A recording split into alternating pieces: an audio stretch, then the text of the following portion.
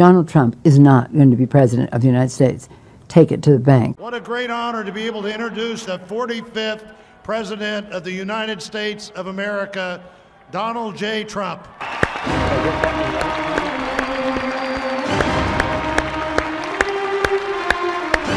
I think that man will be president of the United States right about the time that spaceships come down filled with dinosaurs and red capes. We, the citizens of America, are now joined in a great national effort to rebuild our country and restore its promise for all of our people. Donald Trump will never be elected president of the United States. Together, we will determine the course of America and the world for many, many years to come. Now, Donald Trump is not going to become president.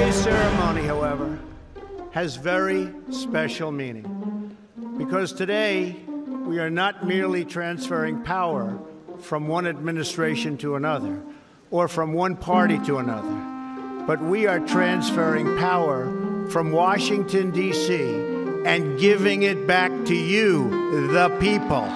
This country, which does not want you to be president, but which badly wants you to run. Everyone is listening to you now. You came by the tens of millions to become part of a historic movement, the likes of which the world has never seen before. I continue to believe Mr. Trump will not be president. The oath of office I take today is an oath of allegiance to all Americans. He will never be president of the United States. We are looking only to the future. We assembled here today are issuing a new decree to be heard in every city, in every foreign capital, and in every hall of power. And so, right now, Mr. Trump, to answer your call for political honesty, I just want to say you're not going to be president, all right? From this day forward, a new vision will govern our land. From this day forward, it's going to be only America first. America first. There is zero chance we'll be seeing you being sworn. We will follow two simple rules buy American and hire American. Donald Trump will never, ever be president. Okay. whether we are black or brown or white, we all bleed the same red blood of patriots.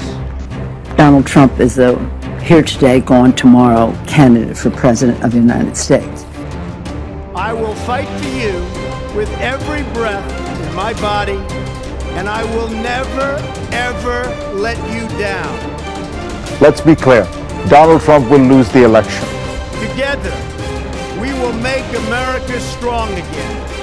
We will make America wealthy again. We will make America proud again. We will make America safe again. And yes, together, we will make America great again.